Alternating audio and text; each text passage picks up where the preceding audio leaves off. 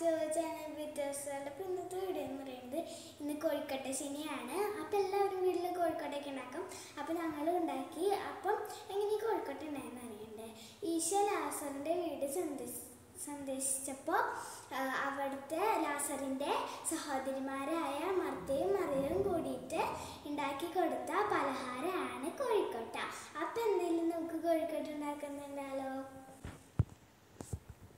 കോഴിക്കട്ട അടുപ്പത്തേക്ക് വെച്ചു. അപ്പം ആവിയൊക്കെ വരുന്നുണ്ട് വെന്തോ വരുന്നുണ്ട് ഞാൻ അവരുടെ അടുത്ത് തുറക്കാൻ പറയാം അപ്പൊ നമുക്ക് തുറന്നു നോക്കിയാലോ? ആവിയൊക്കെ വരുന്നുണ്ട്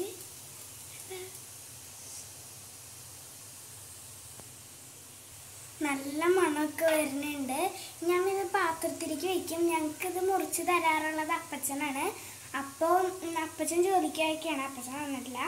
അപ്പോൾ അപ്പച്ചൻ വരുമ്പോൾ ഞങ്ങൾക്ക് ഇതെല്ലാവർക്കും മുറിച്ച് തരും. ഇന്നത്തെ വീഡിയോ ഇത്രയേ ഉള്ളൂ. ഇന്നത്തെ വീഡിയോ ഇഷ്ടപ്പെട്ട ലൈക്ക് ചെയ്യണം ഷെയർ ചെയ്യണം സബ്സ്ക്രൈബ് ചെയ്യണം. Bye bye